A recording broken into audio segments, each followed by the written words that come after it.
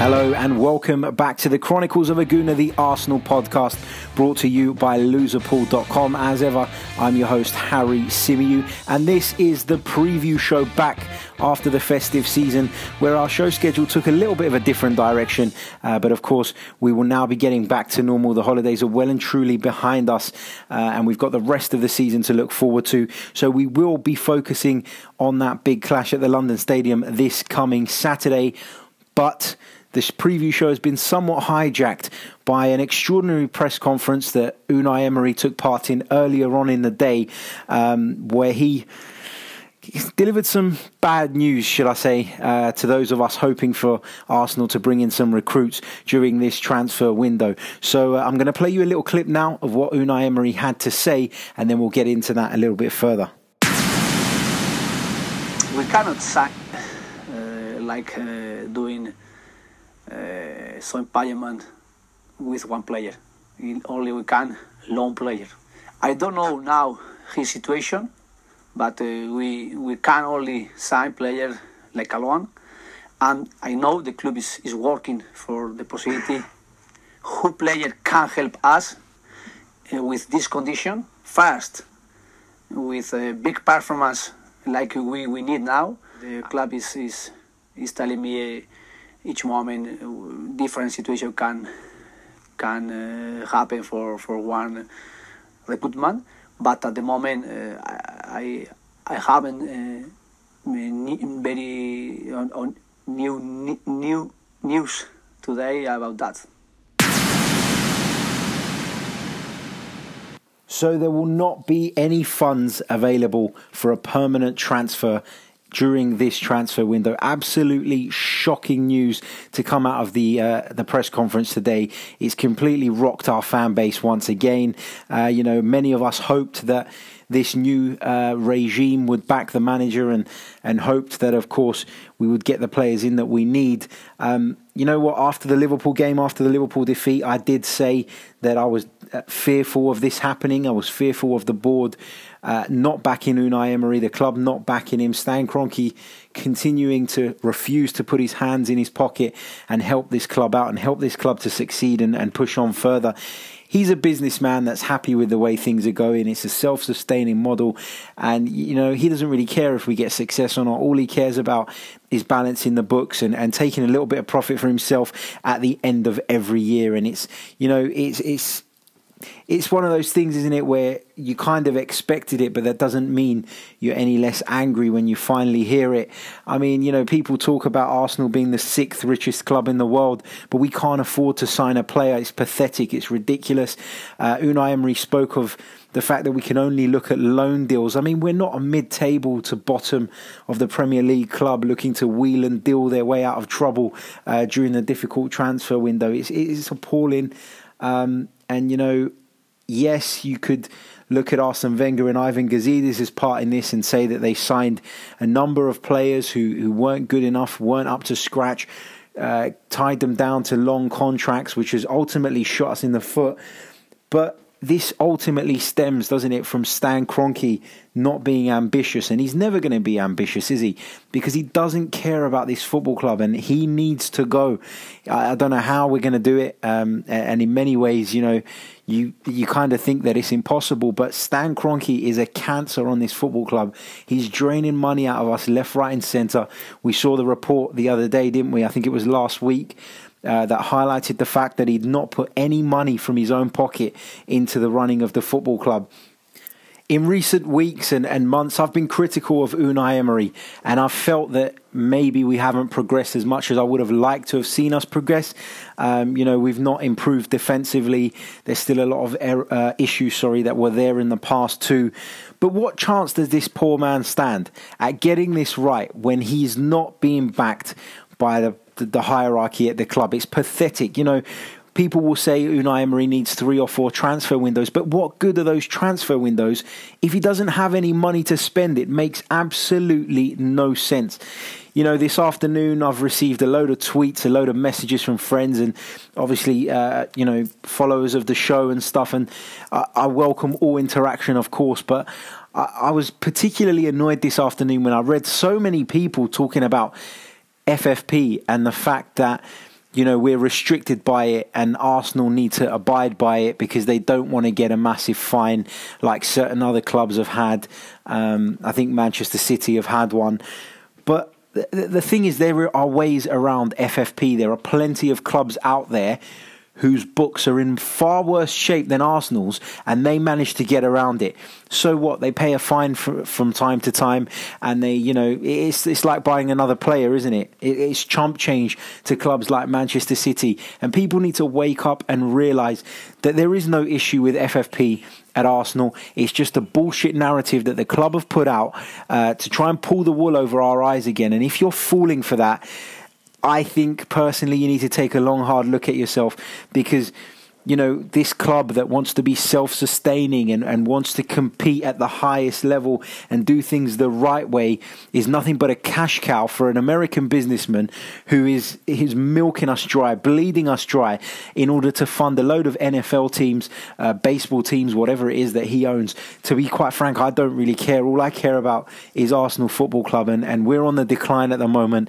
And this, you know, should be a call to the fans to, to take action, you know, to protest against this because it's absolute nonsense. I'm sorry, a club of Arsenal's size, the sixth richest club in the world, and we cannot buy a player this January to help us try and achieve our ambitions of getting back in the Champions League. It's not acceptable it's all just one big mess, isn't it? We're in a situation now where we've got Mesut Ozil at the club, a player who I I rate actually, and I think has got bags of ability. And, and if he's used in the right way, I think he can be a real asset to this team. But we're paying him in excess of three hundred thousand pounds a week to sit on the bench because the manager doesn't really fancy him. Well, a club in the financial mess that we're in at the moment, can't do that. You you can't do that. You know, as a result of this, we've had to let Aaron Ramsey go. We've pulled a contract offer from him for whatever reason. There's people out there that say, you know, the club were pissed off with him in the way he went about, uh, or his agents went about touting him off to other teams,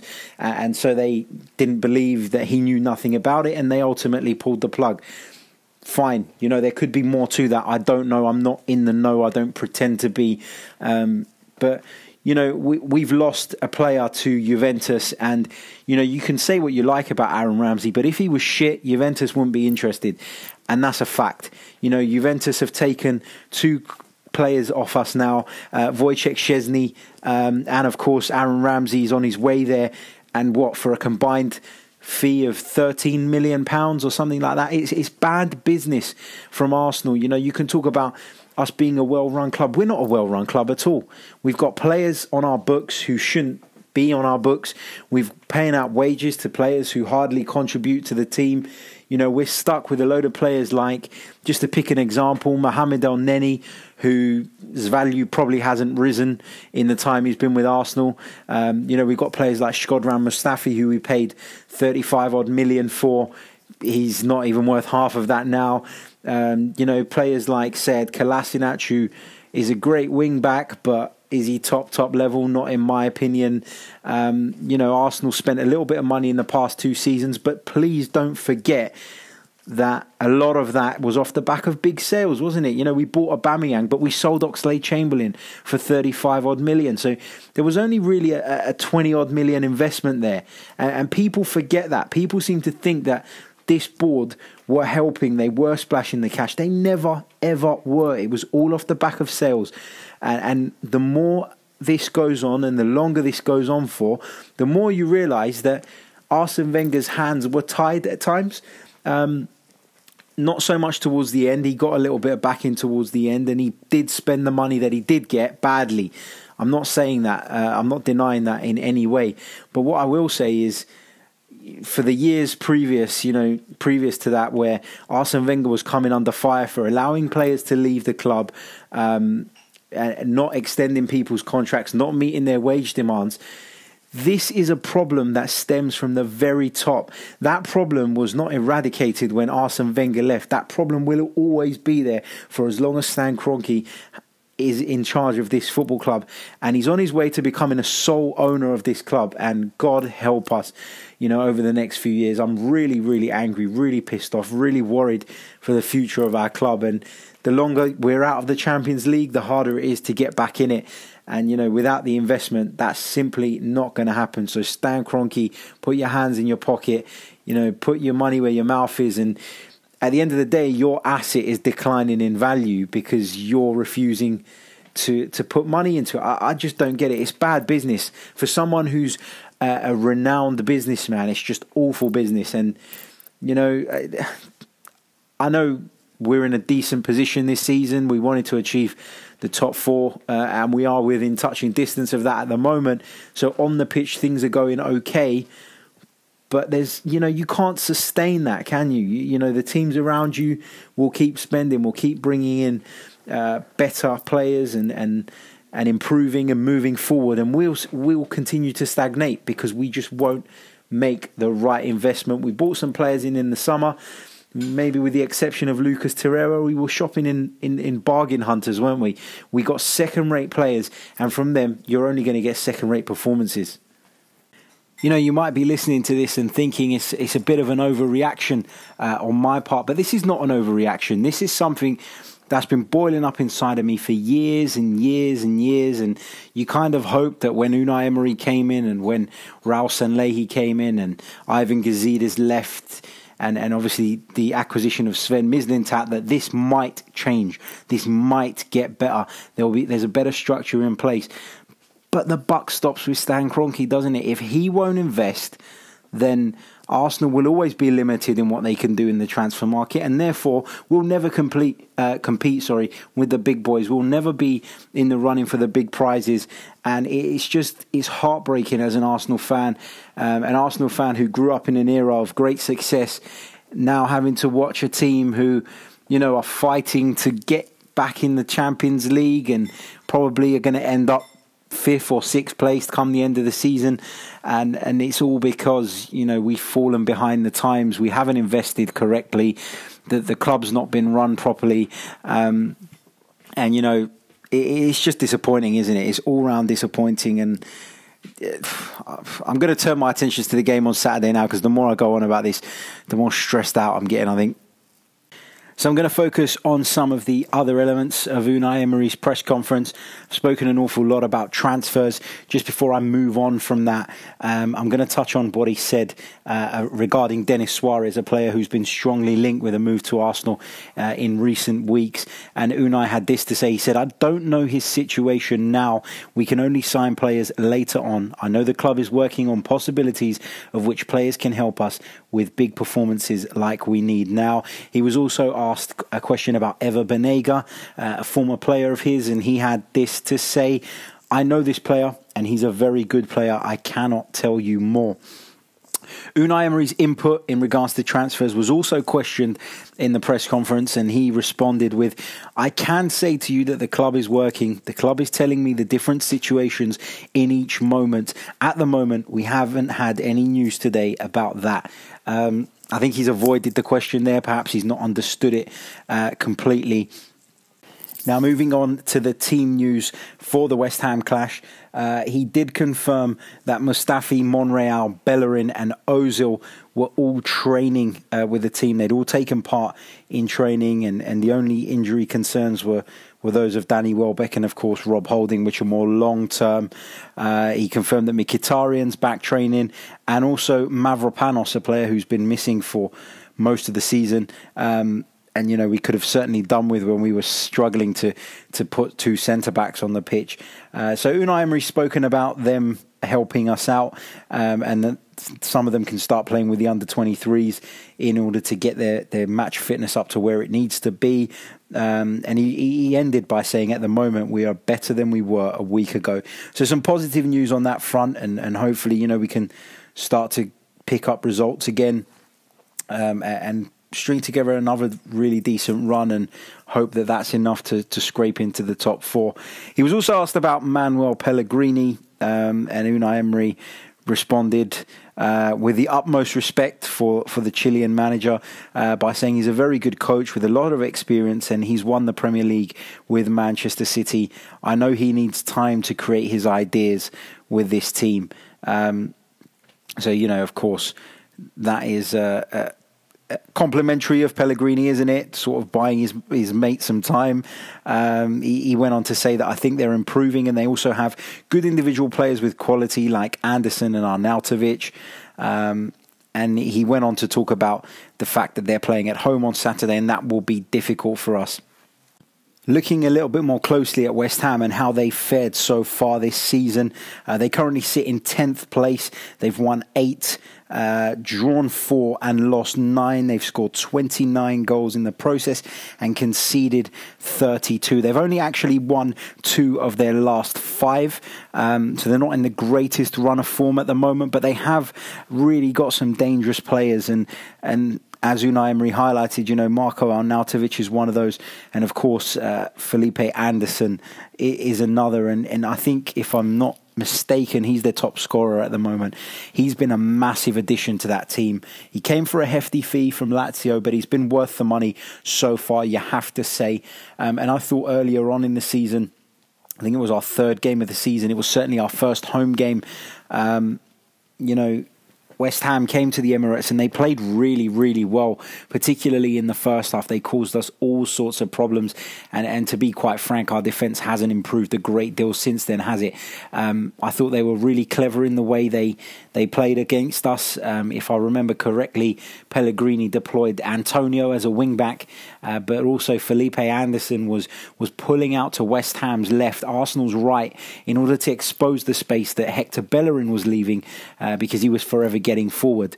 No fault of his own, that's what he's instructed to do, but there, that does leave us in a, in a bit of a sticky situation in that position. And Felipe Anderson is a good enough player to get in those positions and really, really hurt you. Um, you know, they have got some some real uh, attacking threat in him, and of course Arnautovic and. You know, Javier Hernandez chips in with goals here and there too, doesn't he? He's a very much a box player, um, and you know Arsenal's defence always worries me.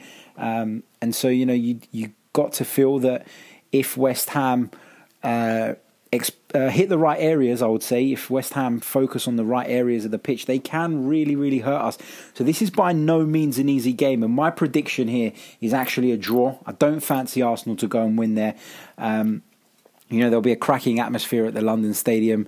Um, you know, I know a lot of people complain about the ground and talk about how far the fans are away from the pitch. But, you know, I, I know a couple of West Ham fans who go there every week and I think it's growing on them. I think they're getting used to it. I think the atmosphere for a London derby will always be uh, pretty good. So, you know, I, I don't buy that where you know West Ham kind of using the stadium as an excuse for for not doing well and not achieving their goals. I think that ship sailed.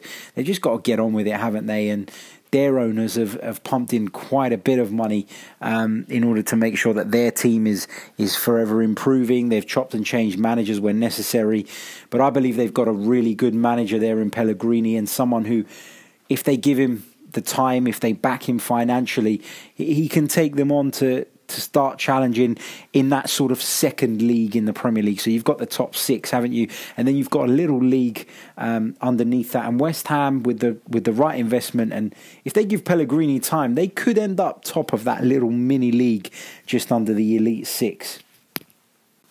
Right, now that brings us to my favorite part of the show, the listener questions. A huge thank you to every single one of you who sent something in today. Um, unfortunately, I can't go through all of them, but I have picked four here uh, that I'm going to touch on. So, uh, big thanks to, to all of you and to those whose questions I don't get around to. I do apologize, and I'll try and pick those up uh, next week. The first one is from a guy on Twitter called Dro the Gooner. Um, he says, How do we as a club find funds for midfielders, but we can't buy one central defender? Please tell me that two of Hogwarts greats, little Harry Potter reference there, Sven and Raul have a trick up their sleeves.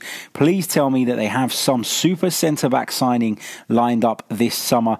Uh, Jerome, my friend, I would like to think that's the case, but I can't see it somehow. I think that's a little bit of wishful thinking on your part. Uh, thanks for your question, but I can't see it somehow. I just can't. Um, this next one comes from Richard Wright, who often sends questions. Massive thank you, Richard, uh, for your continued support. He says, Should we be concerned if we don't buy anyone this window, or should we look to promote more youth players? And I think Richard actually submitted this question before the, the press conference took place. Um, well, now we have to face the real possibility that we may not bring anyone in uh, during this transfer window. And, you know, you can talk about promoting youth players. From what I've seen, I'm not sure that any of them are ready to step up to the to the level required. I think for me, looking at Arsenal's sort of youth ranks at the moment and the fringes of the first team, you know, the under 23s and so on and so forth, the player that sticks out for me is Emil Smith Rowe. But he doesn't play in a position that we're particularly short in at the moment. So, you know, it's, it's, it's difficult, isn't it? I, I don't think that when you're talking about defence, I don't think that Zach Medley's quite ready. I think the fact that Unai Emery preferred to play Lichtsteiner at centre back at the weekend than him tells you that you know maybe he's Unai Emery shares that opinion that he's not quite ready. Next question comes in from Nick Pouch. Uh, he has two questions actually. Do you think that Arsenal will ever break the bank and go out and buy the world class centre half the club desperately needs, like a Koulibaly or De Ligt? Um, quite frankly, no. I don't. I don't think Arsenal are shopping in that bracket at the moment. And his second question, which kind of follows on, is if we are not back in the UCL within the next three years, do you think Kroenke will change his ways? Uh, sadly, no. I actually think that Stan Kroenke it is all about letting this club be self sufficient and and turning a profit for him with minimal investment. So what that means is he doesn't want to put time and effort into it. He doesn't want to to put money into it. All he cares about is being able to take a little dividend at the end of the year. Um, you know, once the club is fully his, that's what he'll be doing. Um, he doesn't want to answer to anyone, and and, you know, he uses Arsenal as a bit of, uh, I would say, as collateral, doesn't he? He uses it to probably secure loans for other things. Um, and it's kind of like an asset that you can draw from as opposed to an asset that's growing in value. It's kind of steady, isn't it? Um, and I think that all that will happen is if we don't get back in the Champions League, is our budget will drop even more because he'll need to compensate for the difference between Europa League money and Champions League money, and you know he's not certainly not going to dip his hands into his pockets and do that uh, and make up that difference. So you'd have to assume that if we stay outside of the Champions League for another few years, then Stan Kroenke will probably just lower the budget um, even more. So probably not the answer you wanted to hear. But that's my opinion on that. Um, that's how I think it will go. And finally, the last question comes from ST Guna on Twitter, who, and this is my favorite, and that's why I left this one till last. Massive thanks for this one. And it's simply, where's the fucking money gone? Mate, I wish I could answer that question for you. Um, I always give answering questions a go, but that is one that truly baffles me, and I have no fucking idea. Um, so uh, thank you for that. And that brings us to the end of this preview show, slightly overshadowed by the disappointing news coming out of the press conference today. So I do apologise for that. I don't want to put a downer on things, but it's something I feel really strongly about, really passionate about, and I had to voice my opinion on. Uh, let me know what you think, whether you agree or disagree. I'm happy to have a sensible debate with anyone, so do tweet me at chronicles underscore AFC. My personal Twitter is at Harry Symeou. You can find me there. You can also email us if you prefer, chroniclesafc at gmail.com. And uh, I know I've mentioned this before in the past, kind of let it drop off, but we do have a Patreon page for those of you who wish to support the podcast. The podcast will always remain free. Don't get me wrong, that's never going to change. Uh, but what our patrons do get is priority when asking questions, um, and they'll get an extra episode each month, of which the content will be decided by them. Uh, so if you want to head over to patreon.com forward slash chronicles AFC, check it out, have a little read, uh, see what the money is for. Um, and, and what sort of things we're trying to do uh, with it, and, and how your support can help us in achieving those things, and hopefully improving the show for you guys. Uh, I'll be back on Monday. I've got a few brilliant guests lined up uh, for the West Ham review show, so I'm looking forward to that. And uh, yeah, so until Monday, ciao.